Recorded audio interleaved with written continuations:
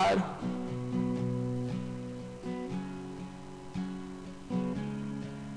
God, I thank you for, for redeeming us of our sin, God. And, and Jesus, thank you for restoring us back to the Father.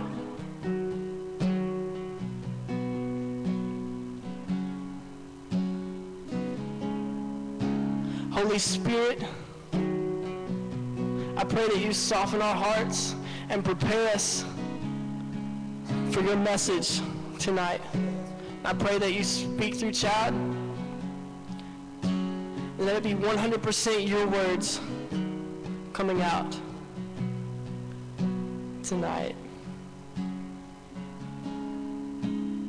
Lord, we thank you once again, God, and we proclaim that you are holy and worthy of our praise, God.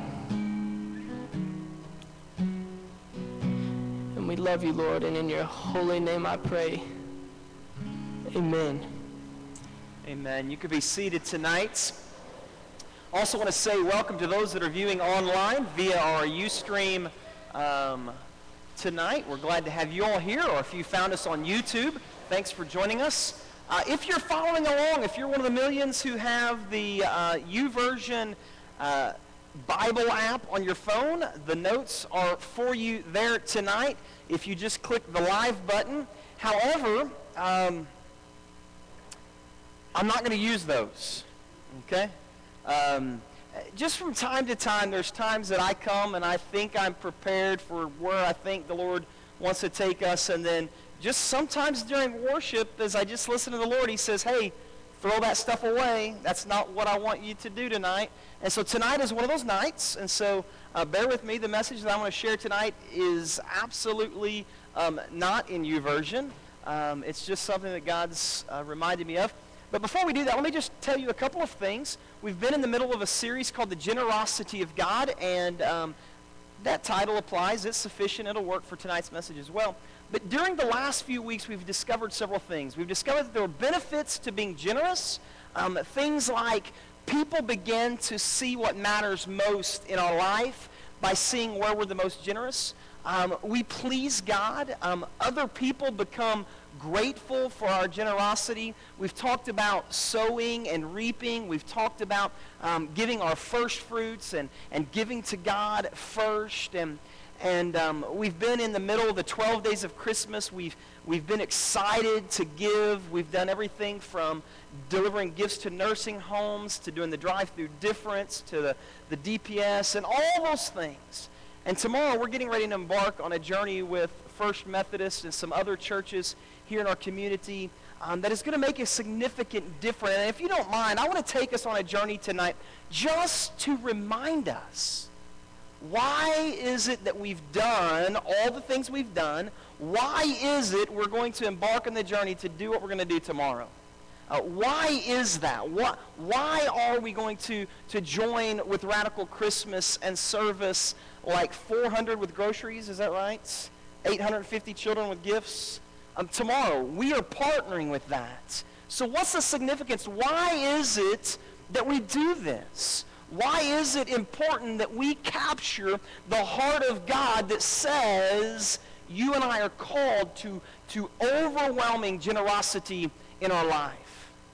Well, to begin, I have to start in Romans chapter 3. So if you have your Bibles, grab that. Romans chapter 3, verse 23. The awesome thing is this this message that I'm going to share with you tonight, it's, it's what connects and join us in our generosity. It's the very single solitary thing that captures and connects our hearts with First United Methodist, with other churches in our city. It's that one single thread, and it simply is the greatest story known to man. It is the gospel of Jesus. It is the reality, listen to me this evening, that Jesus came born of a virgin, born in a manger, born as a child, but certainly the end was a cross. It was death, burial, and a resurrection that would restore us and redeem us.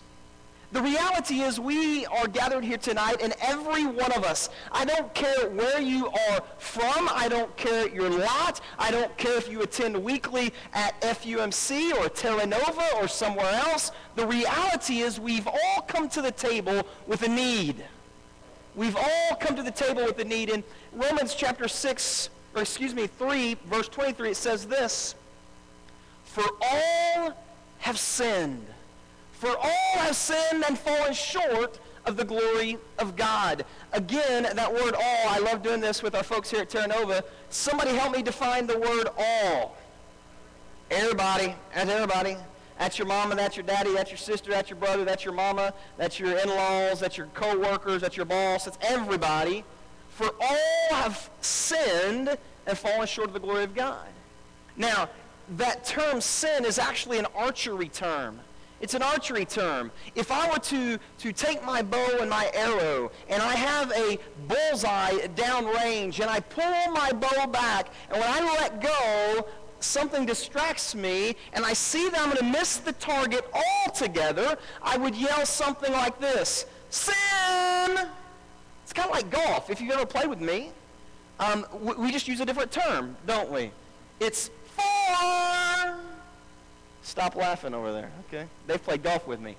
So, so sin is an archery term, and here's what it means. It means I've missed the mark. And so you and I, we come to the table with this overwhelming reality that we have missed the mark. What is the mark? It's God's standard of holiness. You and I have missed the mark. And here's the other reality tonight. And it should be the reality that motivates us. It ought to be the, the reality that, that we hit our, our floor with our feet running tomorrow. This reality that not only have we missed the mark, but we have a city filled with men and women who have missed the mark. They, they have failed to keep the standard of God. And so all of us, take your finger, that, that means me, say it, that means me. We've all missed the mark. Now, I wish I could tell you that because you've missed the mark that that was a good thing. It's not a good thing. If you'll flip with me to Romans 6, verse 23.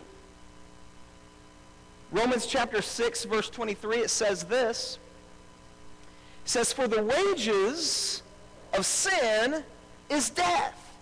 The wages of sin is death. Somebody tell me what a wage is. Something you earn. Hey, man with the hat right here, can you come up here and help me a second? You'll thank me in a minute. Tell me your name. What is it? Hunter? Hey, give Hunter a hand real quick. Um, so now, Hunter, do you understand what a wage is? Like if you do a job, you earn a wage, right? Okay, so you feel like earning a wage tonight? Sure, okay.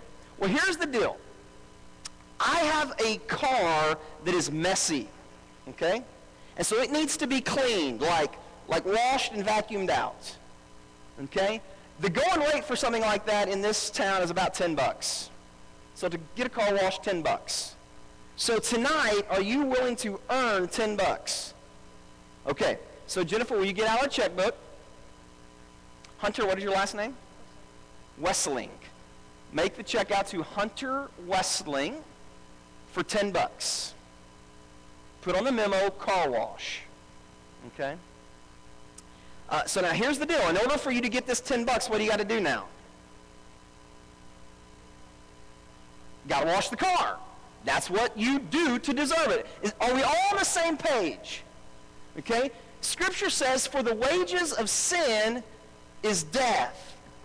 And so the wages of sin is death. So if you sin, what you earn is death. Let me ask a question tonight. Let's make sure we're on the same page.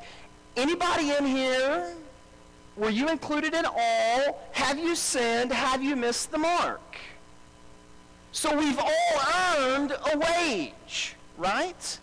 And so what we deserve for our actions is death. the separation from God for all eternity. That's what we deserve.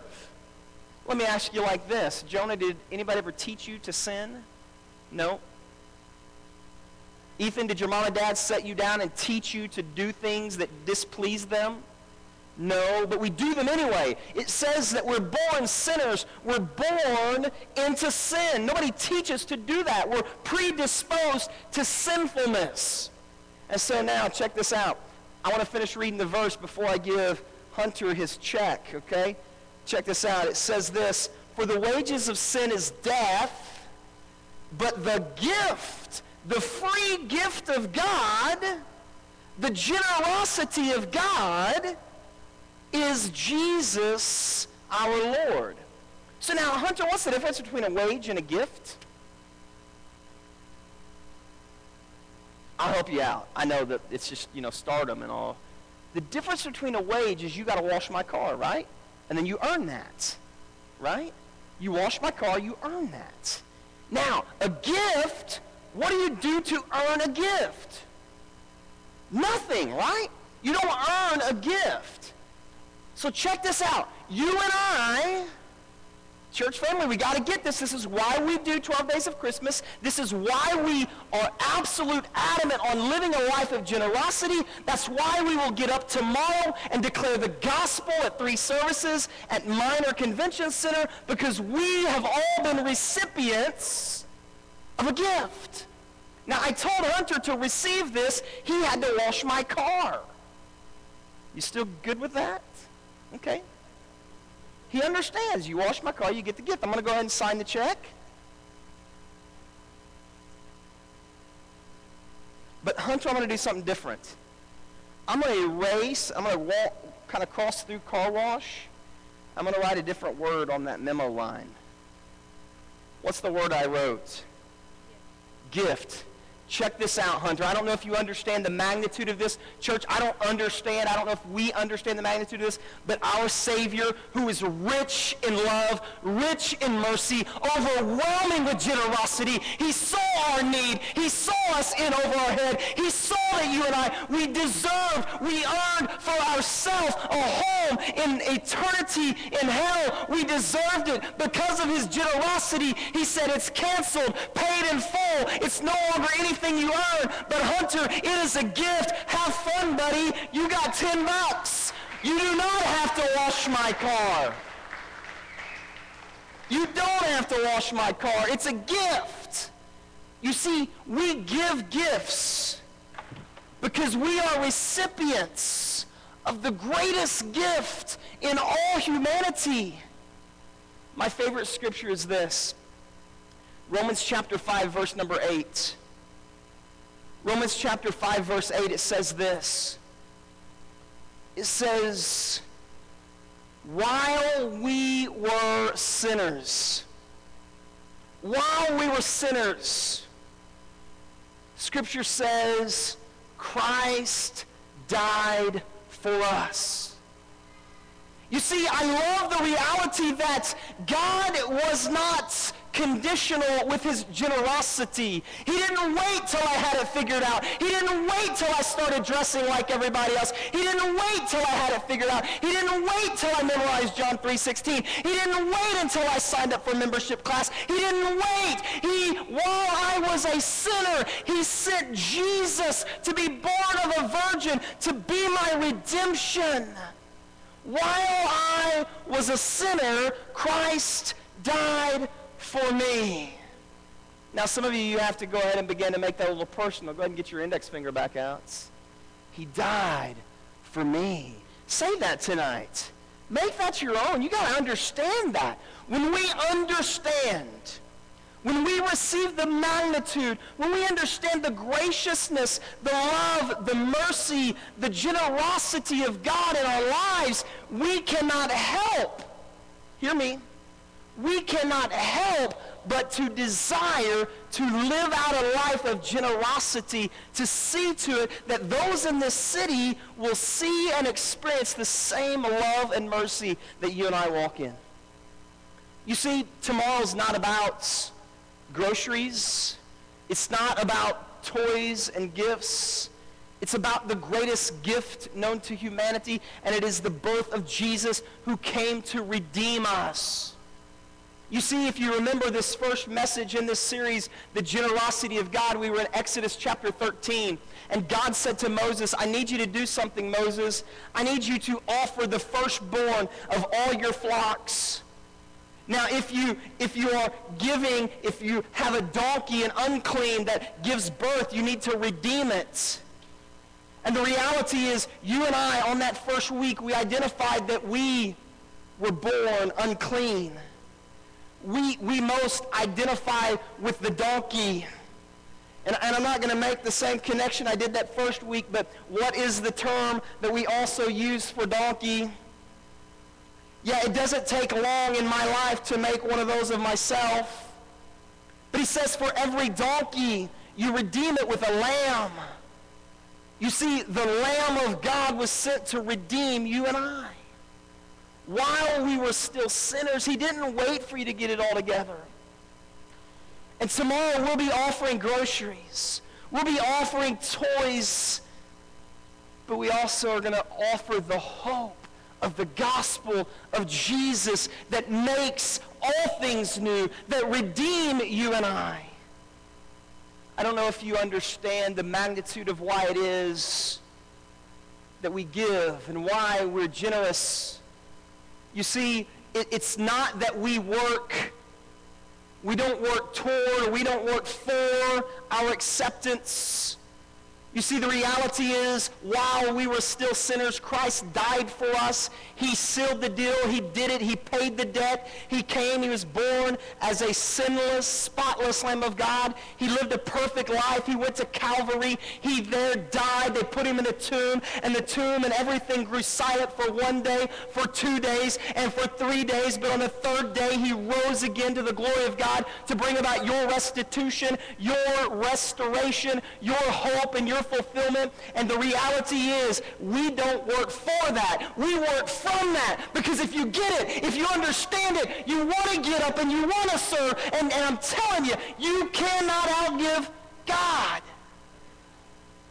You see, I just think it would do us well to, to even as we go into Christmas this week, to make sure that our heart and our perspective is right.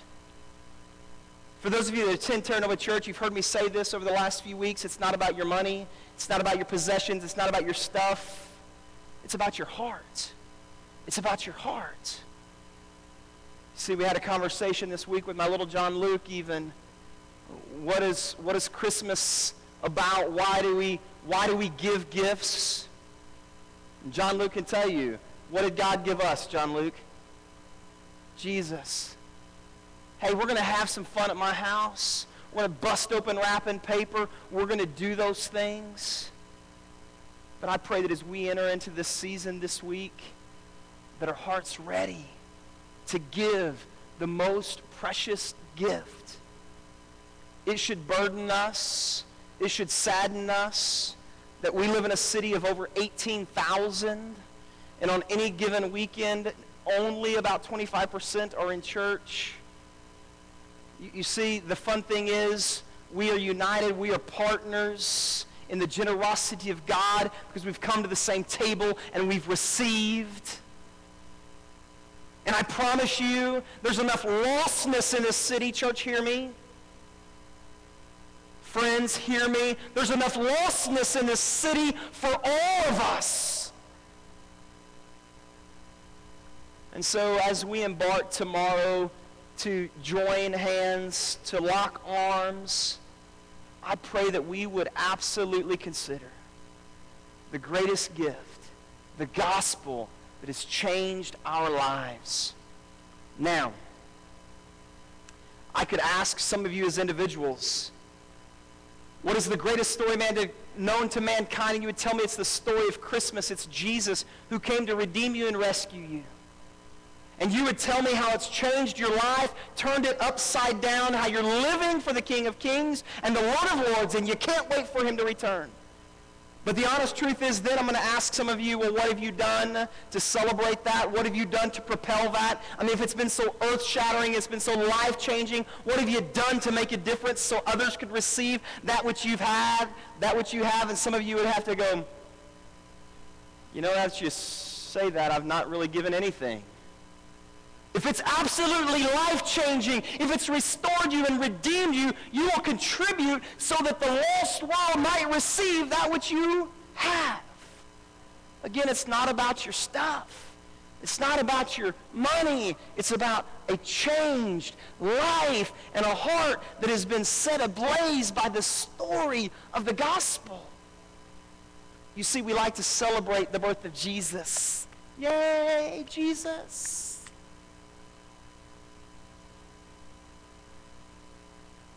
But it's a little harder for us to swallow the reality that he came as that perfect lamb to redeem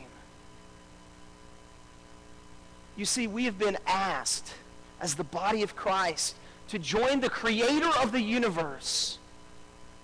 He doesn't need us. Hear me. He doesn't need us. But he chooses to use us.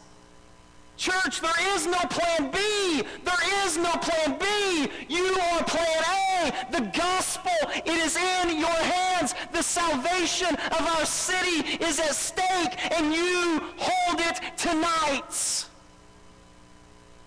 So the question is this tonight. I'm going to ask Jake to come, and we're going to have a time of invitation.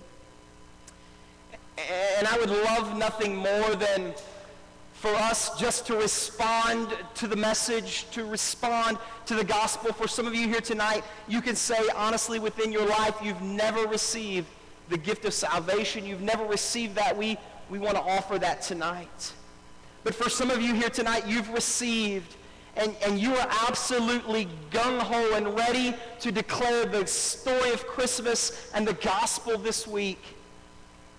And so I would just say that the altar is open. I would love to see us link arms and to pray and to, to ready ourselves.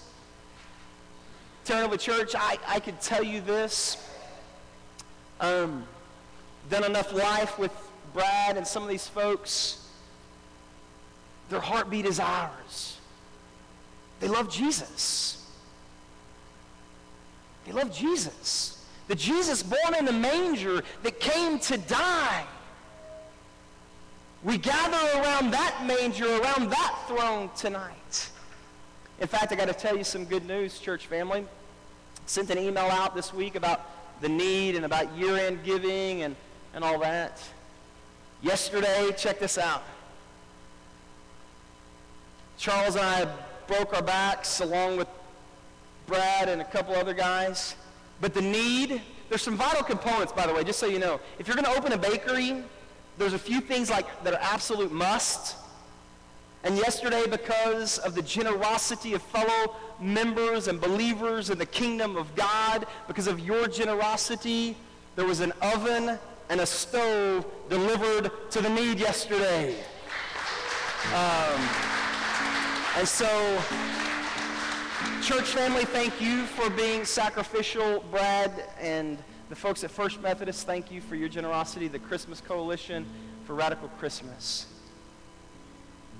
And by the way, if you want to follow along, there's some great notes in YouVersion. The message is great. It's in 2 Corinthians chapter 8, talking about the generosity of the Macedonians, and it's all good stuff. You can, you can check it out there. Um, you can still do your giving online, submit your prayer requests, all those things. But I felt like I would have been, been totally amiss if I didn't just remind us of who we are.